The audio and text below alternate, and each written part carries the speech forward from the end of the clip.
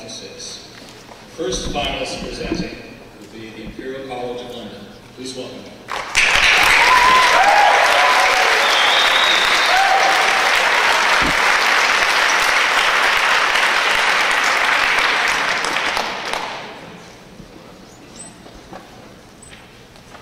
Well, good afternoon, everyone. My name is Farah Bora, and together with Christine Sander and George Hathaway, we represent iColi, the Imperial College London iGEM team. And we'll be talking to you today about our project, Engineering Molecular Creation Oscillator.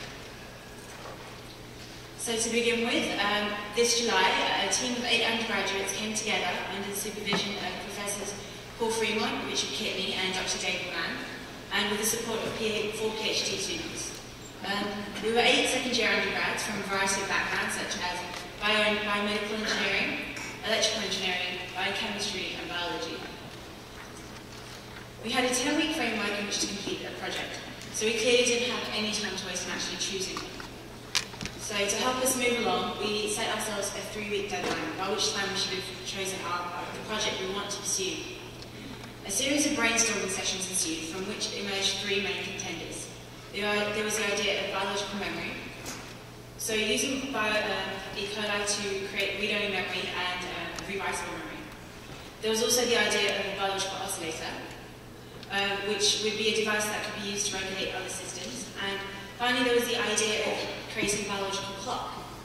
Uh, so the idea of using bacteria to uh, tell the time. We were excited by all three projects, but we really only had time to pursue one. So to help us decide, we came up with a series of four criteria. The project would have to be feasible, original in design, um, have a good bioavailability, and a, a good future impact. And of the three ideas, the oscillator made the cut. So let's all agree on what an oscillator actually is. We define it to be a, a device that produces a periodic variation in time or space of a measurable quantity such as amplitude. Now, oscillators are already a fundamental building block in traditional engineering applications such as the clock, uh, the computer, or the electronic circuit. Uh, in biology, oscillations are a thing that throughout, such as in the rhythmic beating of the heart, uh, the circadian rhythm, and the menstrual cycle. What we hoped to achieve was to build a molecular level um, synthetic biological oscillator that could become a fundamental building block in future synthetic biological applications. So before we continue, I'd like to introduce you all to this engineering cycle. Um, it's, it's a practice uh, of approach towards a project that's been developed across many engineering fields. So if we take the aeroplane as an example, um, first the engineer would draw up a set of specifications and then um, create a design to fulfill these specifications. Uh, the crucial part comes in modelling. If the modelling is unsuccessful, then the specifications or maybe the design may need to be reworked. If the modelling, however, is successful, then we can move on to implementation and testing and validation. What we believe is that if this uh, practice can be so successful for building uh, something as complex as the aeroplane, then surely it's, it's a good case for using this approach for building our synthetic biological oscillator. So first the specifications. To help us decide where to start, we looked at previous synthetic biological oscillators, and a good example is the repressilator by Elowitz and Lieber in 2000. Uh, the general problems faced by these previous oscillators was instability, so the oscillations would die down after a certain time period. There was also noise, that was a huge problem, and a lack of control over amplitude and frequency, so that's inflexibility. We then looked to traditional engineering oscillators, and their specifications are sustained oscillations. They should have a high signal to noise ratio. The oscillation should be controllable in amplitude and frequency and have a standardized design um, and for easy connectivity into other systems. So considering these previous synthetic biological oscillators and the traditional engineering oscillators, we built, we built specifications for our synthetic biological oscillator. We wanted to build a device that would be stable for greater than 10 periods, have a high signal to noise ratio, be controllable in amplitude and frequency, and be built from standardized parts from BioBrick registries to give it a modular design. Um, it should also be easily integrated into other systems. So we've defined our specifications, we need to move on to design, I'll hand that over to John. All right. Thank you, Farah. Our design is based on a large population of molecules. A crucial advantage of this is that it reduces the influence of stochastic noise on our system. We've chosen to use population dynamics, as this gives us access to a large library of well characterized models, some of which are known to oscillate, and an interesting class is predator prey dynamics. So, in short, we're making a molecular predator prey oscillator. So, possibly the most famous textbook example of an oscillating model is the Lox-Volterra model. It consists of two differential equations where x is the prey population and y is the predator. Um, we can use the example of rabbits and foxes. So now there are four terms in this equation. We've got prey growth, which is dependent on the prey population. The population is controlled by killing the, by the predator population. An effect of this is that the predator population itself will grow. And then finally, the predator population is itself controlled by its own death. So, can this system fill our specifications? Oh, and we did some, we did some, dyna- we did some modeling, and the answer to that is yes, it can. It produces an oscillating output, which can have, as long as you can have any parameter, you can have any wave, any amplitude and any frequency. So it's, fulfills it fulfills our specifications. Now, we want a molecular system. So we're going to replace the rabbit with molecule A and the fox with molecule B. So now we've got these populations of molecules which will oscillate in our system. And then we have to turn these ecological principles into biochemical principles. So, prey growth becomes self promoted expression of A. Prey killing by predator is now degradation of A by B. Predator growth is now expression of B by the AB interaction. And predator death is degradation of B. So, we've got to take these biochemical properties and convert them into a, and I'll uh, show you a diagrammatic version. So here we have self-promoted expression of A, degradation of A by B. This, this interaction produces more B, and then finally B will degrade. So this should show a Lox-Volterra-like oscillation. Now the key to our system is we've taken these, this dynamic and split it up into two cells. So now we have the prey generating machinery inside the prey generator cell and the predator generating machinery inside the predator generator cell. So, what this does is it means we can change the parameters by changing the population sizes of these two populations of bacteria. So, we can ch- and change the parameters change the output. So, we can change the output by altering cell ratios inside our system. So, um, a, a minor constraint in that is we have to have some kind of communication between the cells. So, molecule A has to be able to get into the predator cell. So, also, as I'm sure you're aware, the bacteria will grow, and that will, that will change our parameters. So we've got to keep these population sizes constant. So we're using a machine called a chemostat, which I'll touch on later. But first, we'll look at cell-cell communication. We've achieved this through quorum sensing. So it was discovered in a bacteria called Vibrio fischeri, and you've got a gene called LuxR, which will um, uh, create a protein called LuxR, which can bind AHL, and AHL is a small diffusible molecule here. So this complex will then activate the Lux promoter, causing LuxI to be expressed. And LuxI is an enzyme which creates more AHL. So, eh, so that's, that's that. And then um, in Bacillus or in other bacteria, we've got a gene called AIA, which creates an enzyme which will destroy AHL, so it can quench the system. So these have been taken from nature and put into the registry in the form of biobricks, so we can now arrange them into our new system. An example of this is the AHL receiver, which has been made previously. So, Right, we've got to design the prey generator. So our required dynamic is self-promoted expression of A. We have some useful biobricks, and we've made this, um, this piece of DNA here. So TET-R will, will cause a constant expression of LuxR in our cells. So LuxR is, there's a constant amount of LuxR. LuxR will bind to AHL. This will bind the Lux promoter and transcribe LuxI, which is an enzyme that makes more AHL. So you get AHL produced under it self promoting itself. So it's a positive feedback loop here. So we've met that, met that criteria. Now we'll look at the, prey generator, the predator generator cell. So we've got three different dynamics this time expression of B by the AB interaction, degradation of A by B, and degradation of B. So we've got some useful biobricks again, and we've made this. So first we'll look at expression of B by the AB interaction. So we've got a sensing part. So AHL will diffuse into the cell, bind LuxR, then um, this complex activates the Lux promoter, produces more LuxR. So the amount of LuxR in our cell increases like the predator population will.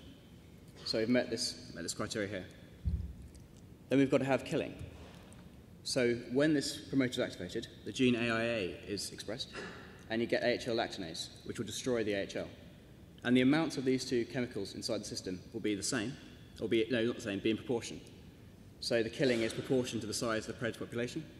So we've met degradation of A by B. And finally, as you're aware, all these proteins will degrade. So we've got degradation of B. So now if we look at the system overview, we've got our prey generator cell. These proteins remain inside the cell at all times, and only AHL can diffuse between the cells. So we have this extracellular pool of AHL, which will oscillate.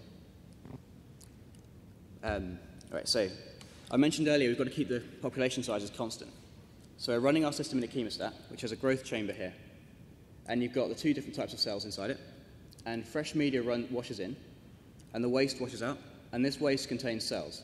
And the rate of cells being removed from the chemostat by washout is exactly equal to the rate of cell growth inside the chemostat. So the population sizes remain constant.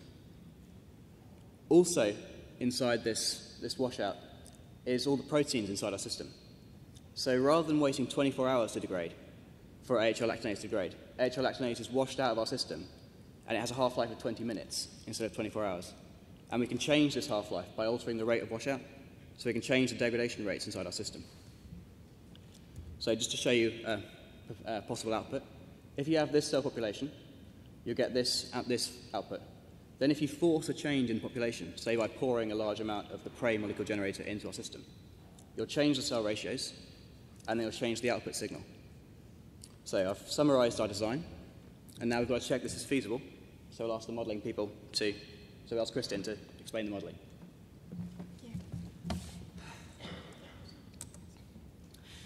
As you can expect from the design of our system and the split up of the predator into a sensing and a killing part, we now have a system that is no longer true Lotka-Volterra, but more complex.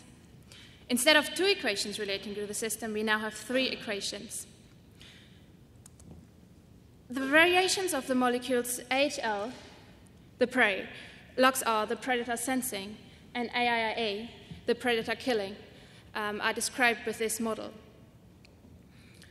These variations are described by, on the one hand, by a growth term as well as as a degradation term. The growth term of these molecules is solely due to gene expression. The degradation term of AHL, the prey, is due to an enzymatic reaction, as well as due to a general degradation term, which relies on the washout of the chemostat. This degradation term also affects the predator terms. Since we now have a diff- more complex model, we have to ask ourselves can this model give us oscillations? We carried out a full theoretical, uh, full theoretical analysis and found the answer Yes, we can.